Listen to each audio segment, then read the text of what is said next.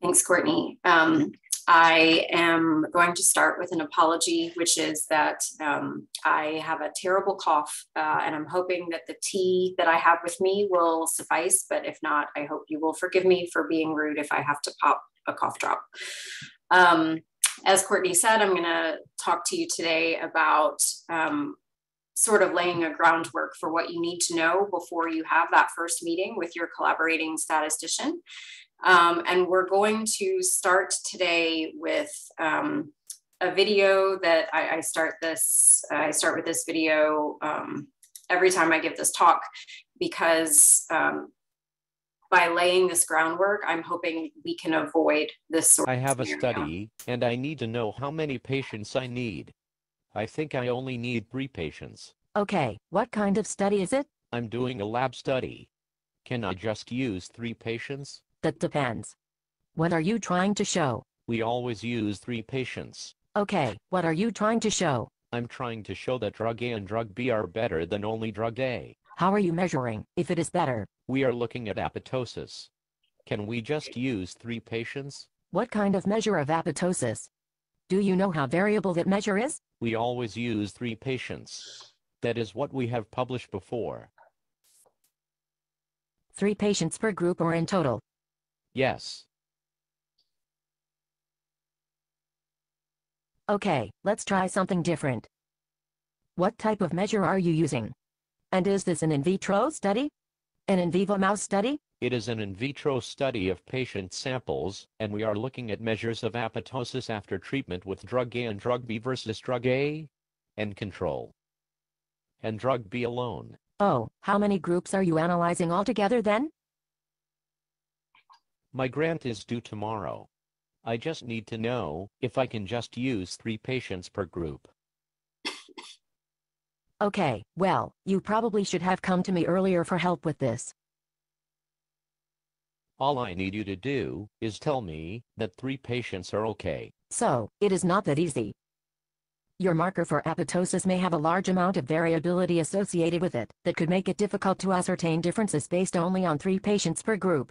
It also depends on what kind of outcomes you are looking at. Are you looking at normalized changes in expression levels from baseline? Three patients may not be sufficient to detect differences in these expression levels between the different treatment groups. I do not understand. I'm saying that you may need more than three patients per group, but that I need more information to determine that. The serine protease granzyme B is made in cytotoxic lymphocytes, where it is inactive due to the low pH of the storage granules. It is measured immediately upon delivery into target cell cytoplasms, where the pH is neutral. This is followed by cleavage of procaspase 3 by granzyme B in the target cell cytoplasm and the subsequent induction of apoptosis. All proteolytic events can be quantitated at the live single-cell level by flow cytometry and imaged by confocal microscopy. I understand very little of what you just said. Maybe we should talk more about this. I just need to know if three patients are enough. My grant is due tomorrow. We will need to meet to better understand this before we can determine the appropriate sample size. I can put you on my grant for half of a percent FTE. You can design and analyze the data later. Do you really think that is enough to do the work? Well, it may be less if it is awarded and the budget is cut. Please go away.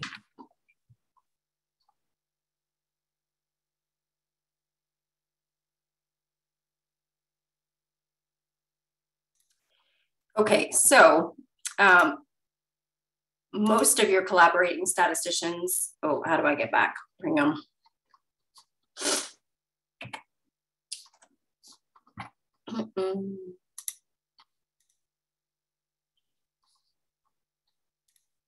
There we go.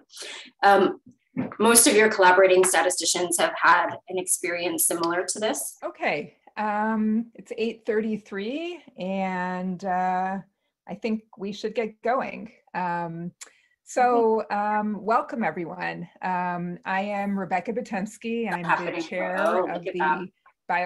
There we go. Sorry. Um, so again, most of your collaborating statisticians have had an experience similar to this. My goal with this talk is to lay that foundation so that you don't have an experience like this. Um, so we'll start with some disclosures. Um, I do receive consultant fees related to editorial service for stroke, um, and my department receives some for DSMB service as well. But I'm not going to talk about anything related to any of that or um, any unlabeled use of commercial or investigational products. And I also want to give a disclaimer before we get into the meat of this talk, because I could spend um, hours and hours and hours talking to you all about different designs and how we come up with the sample size for them and how do you choose between them. Um, and I only have you for an hour today. So we are gearing this talk towards the design of a superiority trial. And what I mean by that is a two arm randomized study where you're really trying to show that one arm is better than the other with regard to some specified outcome and where the end result of that trial is really the p-value from a hypothesis test to evaluate superiority. As I'm sure you've heard from your small group discussions, there are many other trial designs where the objective of the trial might be something other than superiority. Um, you might be trying to show that uh, a new treatment is not inferior to an existing treatment or you might be trying to show that um, a, a, potential therapy is actually futile and there's no need to study it further. Um, or you might be in a situation where the end game might be something other than a hypothesis test. You might be interested in estimating the precision associated with your outcome or selecting among candidate interventions or doses. And in those cases, some of the factors that we're going to talk about here may be more or less relevant, or they may be not relevant at all.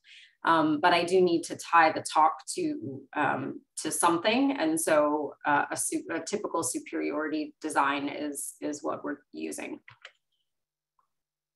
So why do we worry about power and sample size? As I'm sure you've heard in the small groups, there's a lot of um, thought put into how many subjects are needed. Can you really answer this question in whatever phase of research you're in?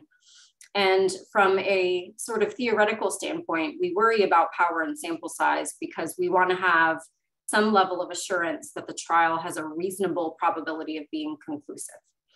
Um, that means that we can determine the exact sample size needed so that we're not expending any more resources that, than are necessary. And that means that resources can be allocated more efficiently um, to a broad range of questions that might be of interest. Now, this notion that we can find the exact sample size necessary to allocate resources efficiently has ethical implications um, that are incredibly important, but we don't necessarily think about when we're designing studies, um, especially in the small, like the early phase space. So if we size a study too large um, with more subjects than we need, then we're exposing people to potential risk when we could already know the answer to our question and we're taking money away again from those other questions and and potential participants and and um, research resources and so forth. If we don't size the study large enough then we have the potential for misleading conclusions meaning that we may not actually be able to answer the question that we're trying to answer and so again, we're needlessly exposing participants to risk because there, there's no, there's not going to be a gain um, to the scientific community at the end of the study in terms of an answer to that question. Really, um, I think from probably from your perspective, why we worry about power and sample size is that there are many instances in the literature of situations in which um, a study was performed, there's some evidence of something happening, but not enough to be conclusive. And so the scientific community is left um, with an answer that's not really um, palatable. And the example that I'll give you um, is from this New England Journal article in 2015. It came across uh, my desk while we were designing the pediatric ICECAP trial that is um, about to launch in the SIREN network. And um, it was looking at children with cardiac arrest who required chest compressions for at least two minutes and re remained dependent on mechanical ventilation after return of circulation. And these patients were randomized to two, one of two arms, uh, both representing targeted temperature management for 120 hours, one representing therapeutic hypothermia and one representing therapeutic normothermia. And the primary outcome of this trial was survival with a good neurobehavioral outcome at 12 months. Uh, the trial was powered um, for a sample size of 276 patients, and it was determined that that was sufficient to detect an absolute effect size of about a 15 to 20% improvement in this primary outcome. So the trial was conducted and the results published again in this New England Journal article. And when they reported on the primary outcome, they found that the normothermia group showed a 12% good outcome rate and the hypothermia group showed a 20% good outcome rate. So an absolute 8% improvement in survival with this good outcome, which is only about half of what they were powered to detect. And so the p-value was 0.14. And the conclusion from the New England Journal article is correctly from a statistical standpoint that therapeutic hypothermia did not confer a significant benefit. But they had to say in their limitations, of course, that based on the observed confidence limits around this effect size, they couldn't rule out a potentially important benefit, despite the fact that the trial was non significant. And we've had discussions um, internally among the pediatric ICECAP group um, and myself as a mom um, thinking through this that if my child had an out of hospital cardiac arrest, an 8% improvement um, in the possibility of a good good outcome sure seems like something I'd, I'd want to, to go after. Um, so again, this is an example. There are many more of situations in, in which the trial was sized in a certain way. The effect that was seen was not quite what was hoped for. And so we're left with this sort of um, unanswered question. So we're going to talk through today a number of factors uh, in determining sample size. We're going to talk through the level of significance and what its role is in the sample size determination. We're going to talk through the power that you're targeting, of course. We're going to talk about the minimum scientifically important difference. We're going to talk about variability in the response in experimental design. And all of these play an important role in determining the sample size that one needs for a particular trial I'm going to um, spend more time on the first four than on the last one because there are lots of experimental design options that one might consider and that may greatly impact what the, the resulting sample size turns out to be. But before we can get into that, we need to talk about the research question. And you all have been meeting in your small groups. I'm sure you're very comfortable stating your research question in terms that um, your clinical colleagues can understand. But before you meet with um, your collaborating statistician or biostatistician, you want to be able to state that question in the form of a testable hypothesis. And that includes often more information than people expect. It's important to come to the table with, with information on what the population is that you're studying, what the specific response variable is that you're looking at, what you're comparing to. So are you comparing pre to post, treatment to control? And at what time point are you taking that measurement? Are you looking at it longitudinally and you want to evaluate the time course, or are you evaluating it at a fixed point in time? All of this information, um, when provided with sufficient detail, um, tells the statistician which statistical methods might be appropriate and which designs might be relevant. And again, that, that will, will carry into the sample size discussion.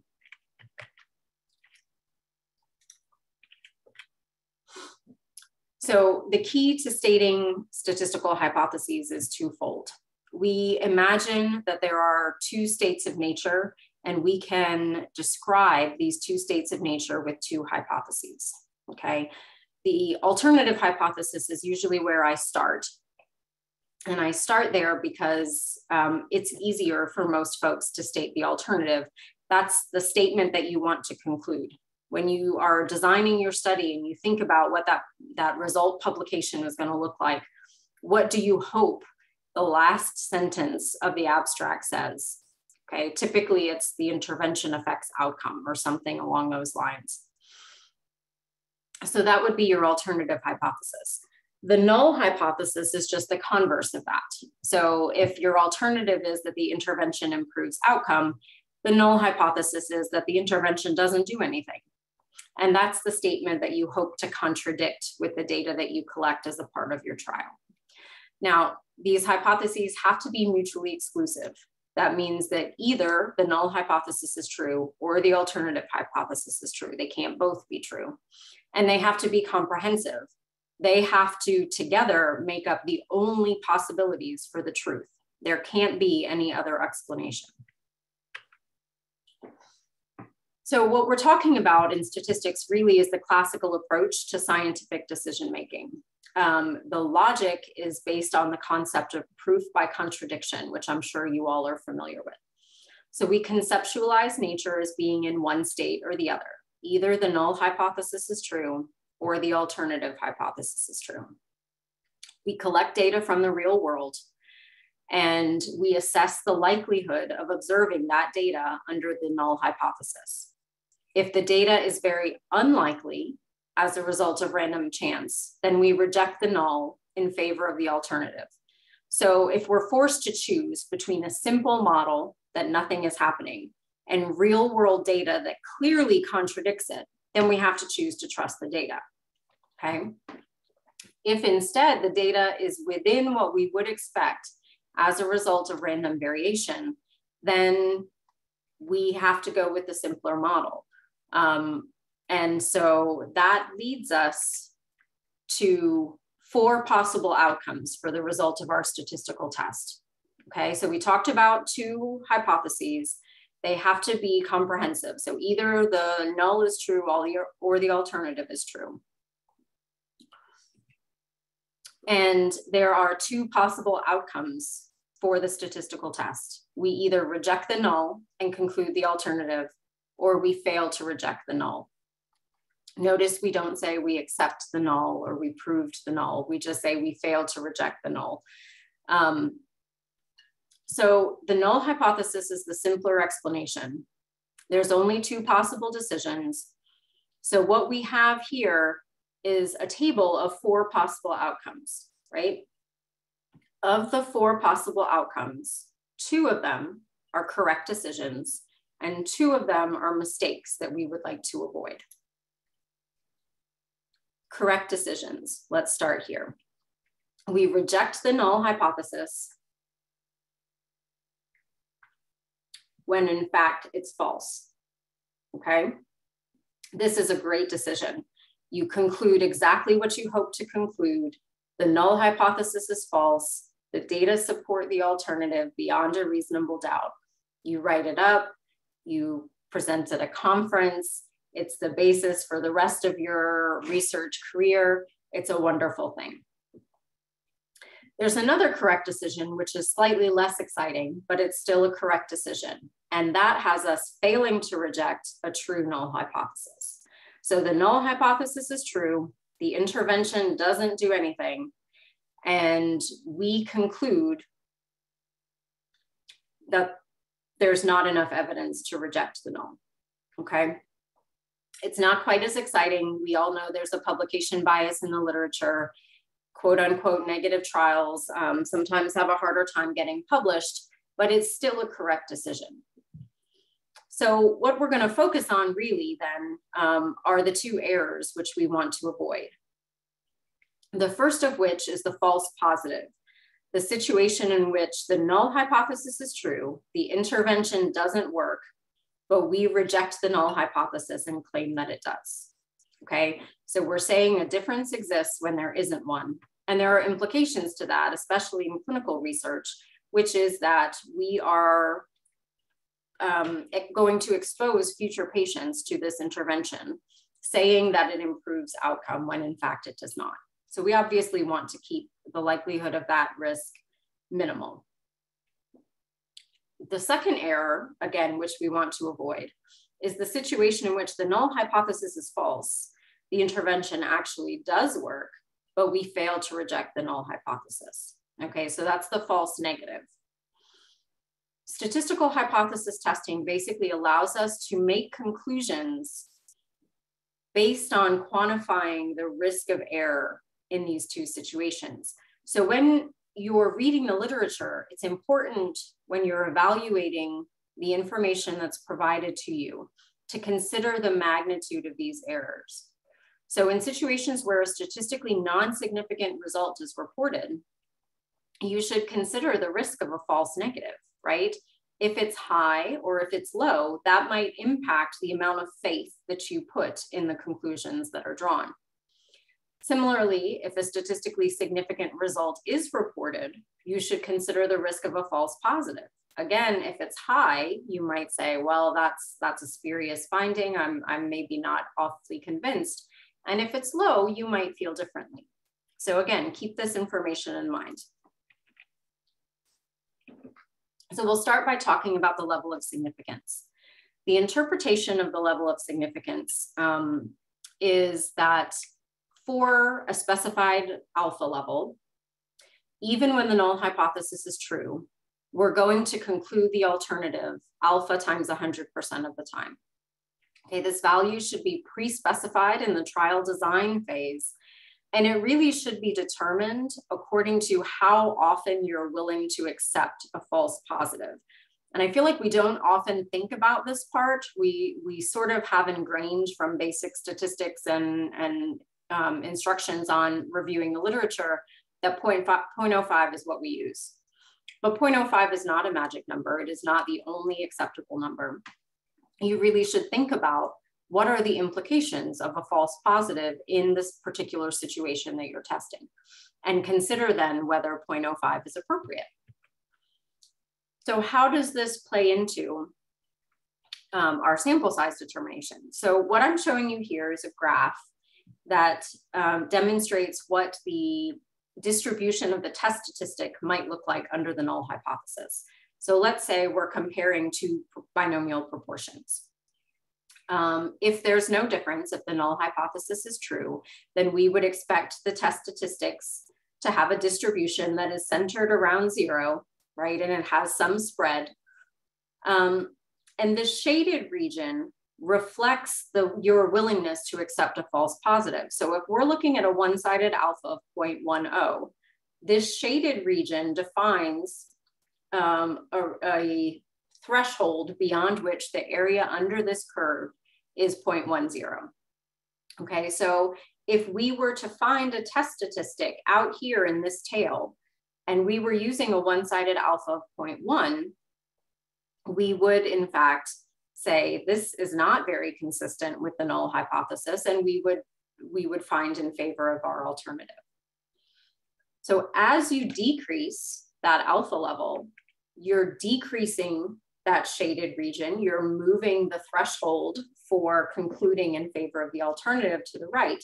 And so you're effectively making it a little bit more difficult.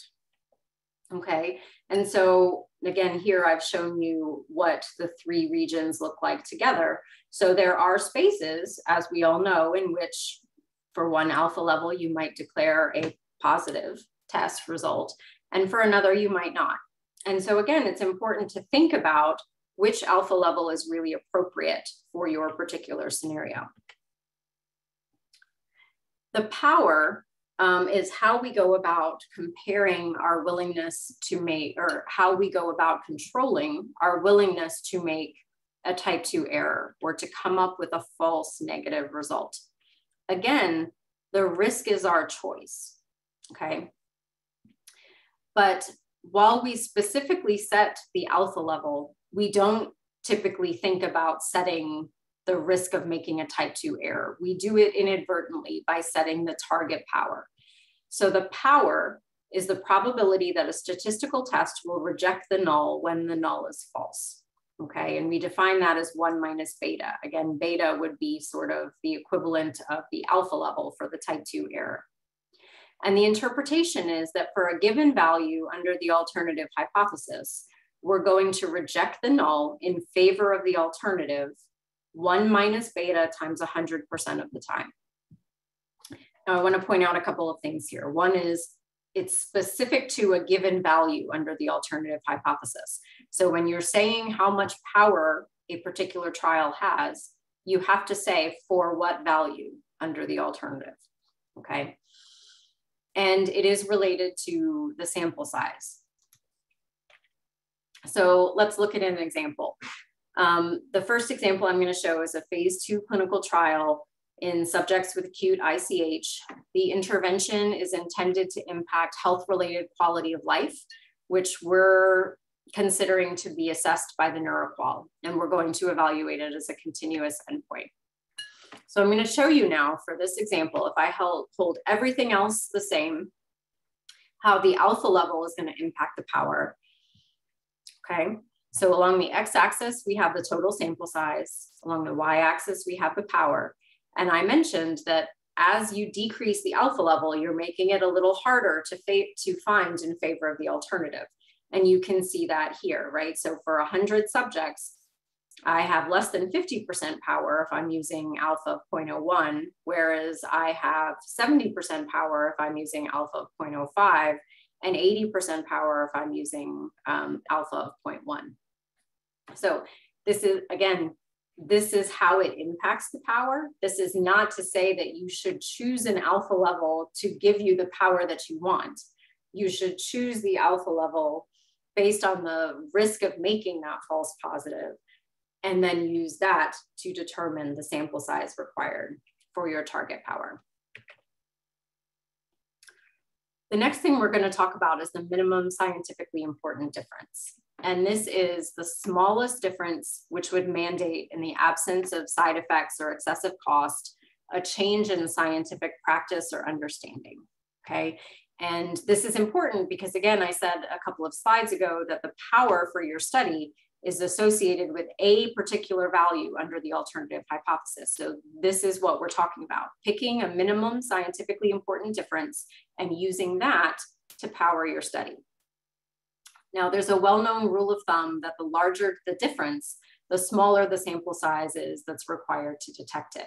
It's a little bit simplistic and I'll show you why in a minute, but the general idea is correct. So again, here we have along the x-axis, total sample size, we have power along the y-axis and holding everything else constant. So holding the alpha level constant, holding the variability constant, you can see that um, if I'm trying to detect a mean difference of 0.25, um, that is a lot harder for me to detect than a mean difference of 0.67, right? So my power increases as my mean difference increases for a fixed sample size. now, I mentioned that this rule, the larger the difference, the smaller the sample size is a little bit simplistic. And that is because it ignores the contribution of variability. So in the case of um, a continuous estimate, we need, in order to power the study, some idea as to what the variance or the standard deviation of our endpoint looks like. And that's gonna help tell us how, how that curve for the test statistic um, or for the point estimate is gonna look. In the binary case, um, what we really need in terms of the variability is an estimate of the control proportion. All right, and again, I'm showing you here for the scenario we've been talking about where we're comparing two means on the NeuroQoL. If I hold everything else constant, hold the alpha level constant, hold the mean difference constant, as my standard deviation decreases, my power gets better, right? The more precision I have, the easier it's gonna be for me to declare a difference. So that's for the continuous outcome. Let's reshape it just a little um, so you can see what it looks like for the binary outcome. Because uh, in, in my experience, um, it folks often come with a binary endpoint and it can be a little bit jarring to see how much that control proportion impacts the sample size. So again, we're still talking about this phase two clinical trial in subjects with acute ICH. Um, but now I'm saying the intervention is not going to impact health related quality of life. So my continuous outcome has gone out the window. And now I'm thinking about its impact on functional independence, defined using a modified Rankin scale score of zero to two. And I'm going to assume the minimum clinically important difference in this arena is absolute 10% improvement. Um, that's pretty common in stroke literature, but again, folks can argue uh, in either direction, I think, in that case. So same setup for the graph, but what we have here now is a line for each, each value of the reference proportion. So if my control proportion is only 10%, 10% of my control group is expected to, to achieve functional independence. And I'm trying to detect a 10% improvement in that. Um, my power changes as a function of sample size, of course, but I can hit 80% power with about 400, somewhere between 400 and 500 patients as my control proportion increases, um, it gets harder. My power decreases. And the worst case scenario is going to wind up being these control proportions between about 0.4 and 0.6. Okay. And that's because the binomial outcome has most variability around a proportion of 0.5. So you can see, and the difference can be pretty substantial, right? We're talking here um, at about 600 patients, uh, I have somewhere 90% power if my control proportion is 10%, and I drop down to 80% power um, if my control proportion is 20%. So you really want to have some good information as to what that control group is going to look like.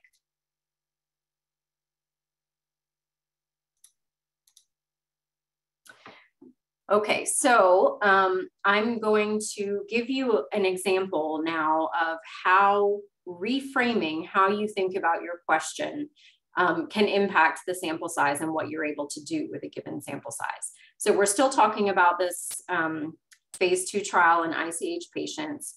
We're still talking about functional independence as an outcome. And if I want to design this as a superiority study, let's say I have 300 patients and I'm imagining that in your head, most of you are already going to argue that 300 patients is kind of a lot for, for a phase two study. Um, but let's say I have about 300 patients. I want to use a typical alpha because that's what I know everybody uses. And I think that 56% of my control group are going to achieve functional independence. And I'm arguing that the minimum clinically important difference is 12%. And I'm arguing that because I know that 300 patients is, I'm, I'm gonna have a power issue.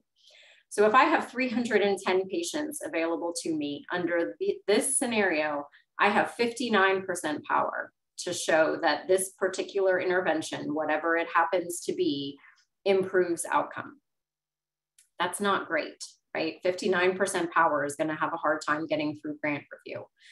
Um, but uh, so I let me back up a minute and just take the opportunity here to point out that um, this example right here um, is why many people criticize the typical phase two trial design as an underpowered phase three because what we do in order to make the sample size work for a phase two is we come up with a really, really big effect size, or we make the alpha much, much bigger um, in order to get the power that we need for the sample size that we have. A better approach might be, or an alternative approach might be, so I don't give too much of my bias, um, to reframe how you think about your hypothesis. So instead of showing that you want to, um, instead of saying that you want to show that your intervention is better than the control, what if you say, well, in phase two, I'm looking for a signal of efficacy. And so, really, what I want to do is figure out whether my signal is so low that I don't care about it anymore, that I can weed out that intervention for future study. And that's what the futility design was, was intended for. So you can see here, we've reframed, reframed the alternative hypothesis. So instead of trying to show that there is a difference, we're trying to show that that difference is less than the 12% absolute that we care about. This hypothesis is already one-sided, which helps a little bit. And the literature for futility suggests that you can use an increased alpha level because the implications of making a false positive in this scenario are different. A false positive under this alternative hypothesis is actually that you're going to throw away an intervention that doesn't work. So you're not exposing anybody in the future that to something that you know doesn't work. So we're we're willing to accept that that possibility a little more often same reference proportion, effectively the same effect size. We want to be able to say if the two interventions are exactly the same, I want to be able to throw, throw this one away. And with 310 subjects now under this scenario, I actually do have 80% power to declare my intervention as futile. Okay, so there are ways to rethink this the phase two space so that you're not in this scenario of being criticized for an underpowered phase three. Um, there are lots of methods for determining power and sample size. There are closed form solutions for many of the common straightforward designs.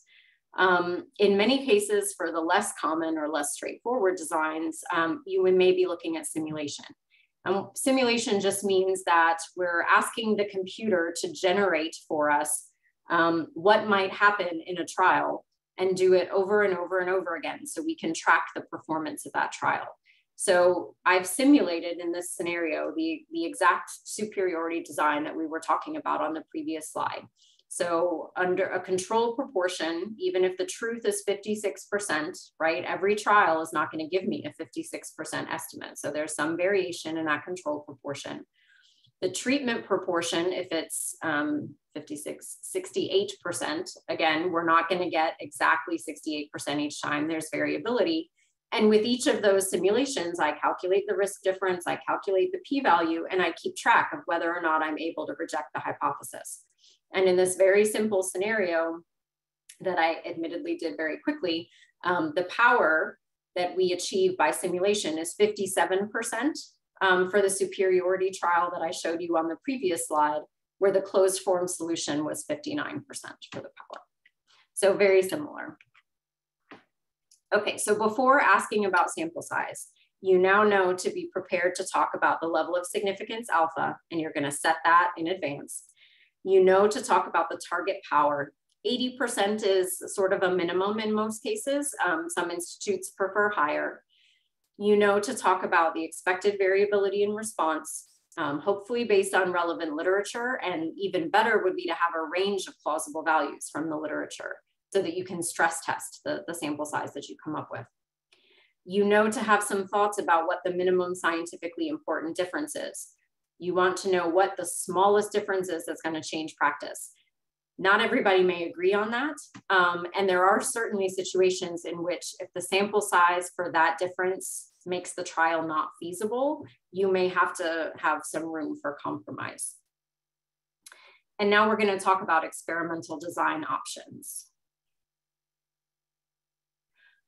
Um, Sorry. So yes, so somebody asked, could we talk a bit about how simulations can be run or point us to resources? So um, I don't know if Will Meurer is on, but he would laugh at me when I say that simulations are not for the faint of heart. Um, so I Will is very comfortable running them himself. I don't know a whole lot of um, of clinicians who are. Um, I have done them myself in SAS and in R. There are some packages that will sort of guide you through the process, but it's very specific to what the design is that you're looking for. Um, and you have to have a lot of information in terms of the inputs um, into those, those packages. Um, I don't know if that really help, helps you with that question or not. Um, another question, would you consider futility equivalent to non-inferiority? So I do not consider them equivalent. And the reason for that is because my threshold for declaring futility is likely to be much larger than my threshold for declaring non-inferiority, right? If I want to show that my intervention is not inferior to the standard, I probably want to show that it's like within one or 2% maybe.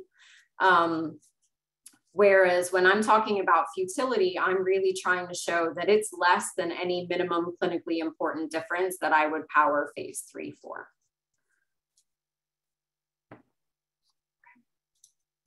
All right, so some experimental design considerations. Sorry, hang on. Um, that one can think about um, and I'm, again, these are some of them. There may be many, many others that you've already talked about in your small groups. Uh, the first question you might ask is whether a parallel or concurrent control group is really necessary. Um, in some instances, if there is data available from a trial that was completed relatively recently in the same population under the same um, inclusion exclusion criteria using the same outcome, you might be able to use those controls as your control or maybe just part of your control. And there can be um, quite dramatic sample size savings if, if that's possible. Um, the futility design that I described a couple of slides ago was a concurrently controlled futility design. If you were to do that instead using historical controls, um, the sample size could be a third maybe of what I showed you. Um, can you answer multiple questions in the same design? Can you answer questions about dosing and timing in the same design? Um, or can you answer questions about two different endpoints in the same design? Um, maybe in some instances, a hypothesis test is really not the best way to achieve your goal.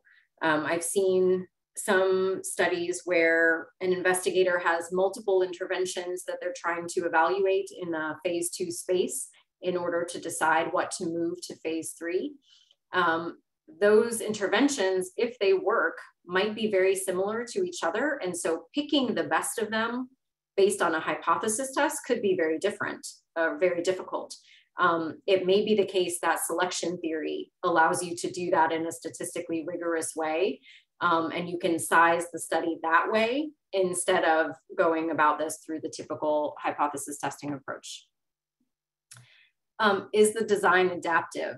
Um, I know it, uh, adaptive designs are sort of a, a buzz buzzword right now. Um, and I am the first person to say that um, I think adaptive designs are great, but they're not always necessary. And they definitely make things more complicated. Um, but there are situations in which something like response adaptive randomization or um, dropping an arm, things like that might actually um, be very effective in terms of controlling the efficiency of your design. Another thing to keep in mind is that the sample size calculation depends on the method of analysis and the method of analysis depends on the design. So you, you sort of have to have all of this conversation together um, rather than in pieces. And just keep in mind that for some designs, simulation really may be the only way to determine the sample size. And there can be, depending on what design you're using and whether there are, are packages available for you to do the simulation already programmed, um, there may be lead time that's required. It, it will um, likely increase uh, the amount of time required to come up with the sample size determination from the typical closed form solution approach. Um, so I'm going to show you an example of an adaptive design that we worked on um, recently. I'm not going to show you the actual final design, but this is what um, we proposed to do in a planning grant that was ultimately funded for us to fully flesh out what the design would look like. So in this approach, uh, in this design, we took eligible subjects, we randomly assigned them to a placebo or one of four active doses, and we evaluated the primary outcome at 24 hours. And then after a burn-in period, um, we used response adaptive randomization to active, adaptively allocate patients to increase the number of patients and doses that were effective, reduce the number of patients assigned to doses that were not effective or above the target that we were looking for. And in this scenario, this was one of those places where we had to do, we had to come up with the sample size by simulation. And so I'm just showing you an example of um, what sort of goes into this on the back end. So you have to um, hypothesize what the truth might look like under various scenarios. So I'm only showing you two here, a null scenario where there's no change across dose and an alternative um, where the primary outcome increases and then sort of plateaus at the highest level. And then we go through that process of simulation lots of times under each scenario. So in this case, we actually had three or four alternatives that we were working with and the null, and we're tracking the behavior of those um, of those trials under certain instances. So again, under the null, what you want to see is that we're not very often declaring um, and one of the doses to be effective.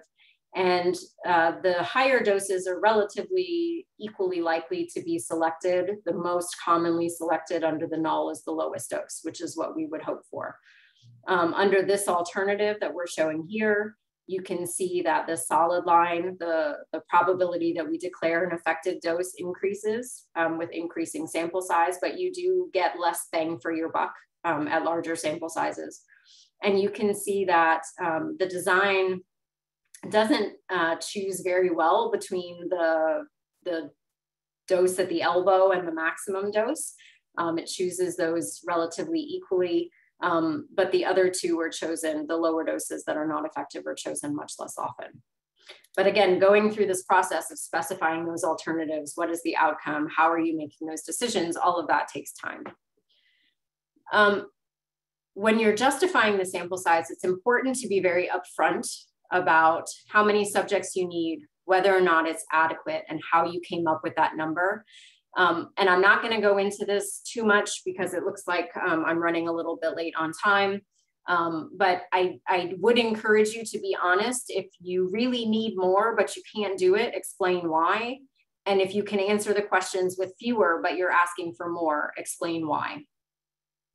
There are two ways that we go about this. We can um, calculate the sample size based on specifying the difference, the variability, and the target power. That's our preference. Um, in many cases, especially in early phase studies, we're limited by resources. And so what we're actually doing is specifying the sample size and the power and the variability and calculating the detectable difference. It's not ideal, but in either case, um, the sample size must be justified. There's freeware available on the web. Um, the University of Iowa, Harvard, there's software available for purchase. Um, your statistical collaborators are going to have lots of options available to them. The one that I use most frequently is actually not on here because it's um, it's expensive, but it does have advanced, advanced functionality.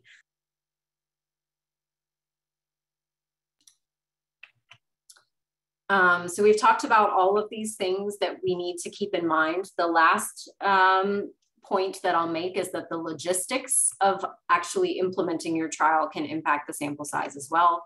So um, the first thing I would think about is the anticipated recruitment rate. How quickly are you going to be able to do this? That may impact whether or not an adaptive design will work for you. It may impact um, how much follow-up time you have available in a time to event scenario.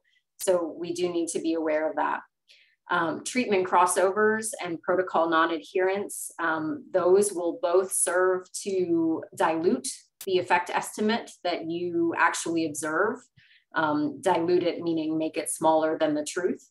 And so you will want to inflate the sample size in order to account for those in most scenarios. Loss to follow up and consent withdrawal, how are those going to be handled? How much do you expect?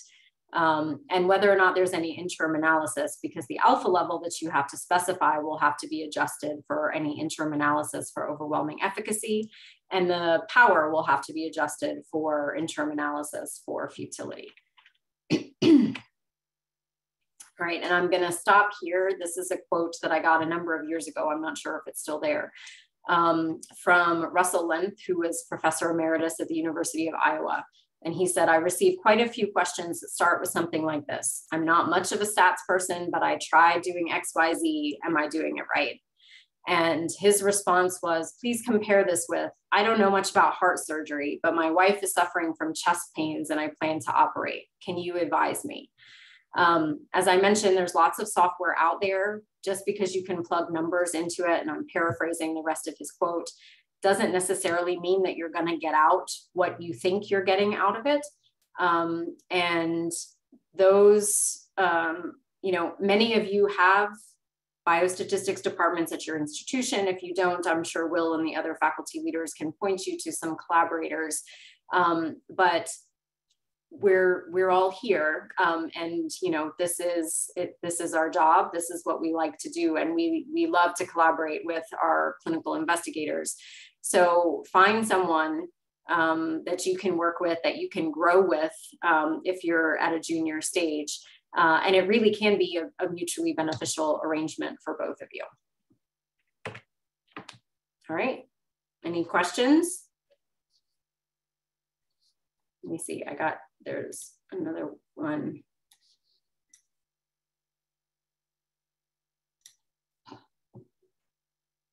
For the interim analysis, um, how does the power how is the power impacted? Um, since the target population is not yet achieved in terms of N. Yes, so uh, the interim analysis, what we typically do is we test at a much smaller alpha level. Um, so if at the end of the study, the alpha level that you plan to test at is 0.05, we wouldn't do that at an interim. We would do it at something much smaller, um, 0.001. Um, there are different boundaries that one could choose from. Um, but at the time of the interim analysis, the power will be much less than you were expecting at the end of the study. But the only reason that you would conclude efficacy is if the samples, the, is if the effect size is much larger than you expected, right? So there's that trade-off. You have fewer patients, um, you're observing a, a large effect size, so you won't have the power for the effect size that you targeted or potentially for the secondary endpoints, other things that you wanted to look at.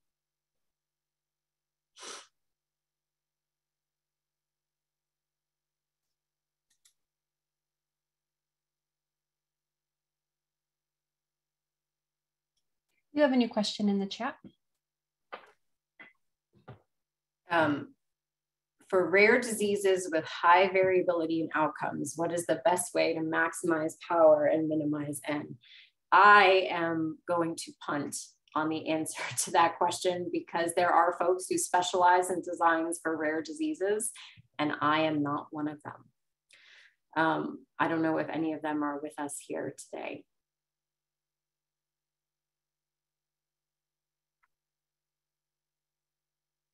No, I, but we will have some discussion at the course about um, rare diseases. And this is Lori talking. We will have some discussion at the in-person chances to discuss um, rare diseases and uh, how to maximize power. So.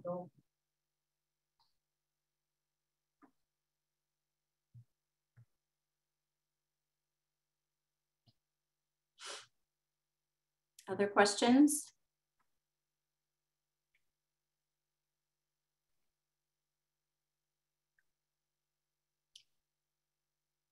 How does one develop a working relationship with a statistician who deals in specialized areas like rare diseases? Yes, that's a good question. So I'm going to answer it more generally. Generally, how does one develop a working relationship with a statistician who specializes in disease in specialized areas? Period. Because there are lots of specialized areas. There are folks who specialize in dose finding. There are folks who specialize in rare diseases. Folks who specialize in adaptive designs. Um, I think that um, you can, if you have a consulting group at your institution um, or a CTSA who provides biostat consulting services, that is a great place to start. If they don't have the expertise that you're looking for there within the CTSA, um, they may be able to point you to faculty within your department or within that the biostat department or public health sciences department at your institution. Um, if not, many of us know um, we know statistical collaborators across the country, right? And so we may be able to reach out. So I would encourage you to, to start reaching out to a statistician um, and get them to help you find someone who has the specific expertise that you're looking for.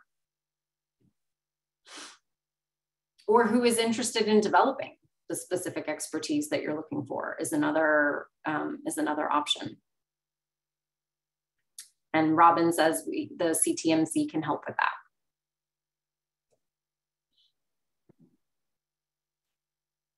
Sharon, thank you so much for another great presentation. Of course. Happy to help.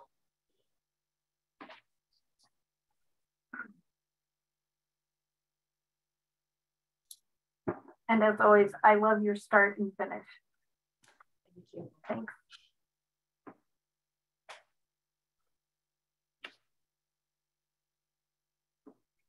If there are any final questions, please put them in the chat now. Otherwise, I think we can go ahead and end today's session.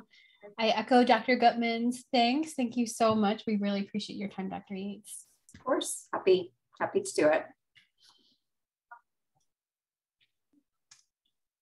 All right. Well, before everybody hops off, I'm going to put in the chat the link to the evaluation. This takes just a couple minutes.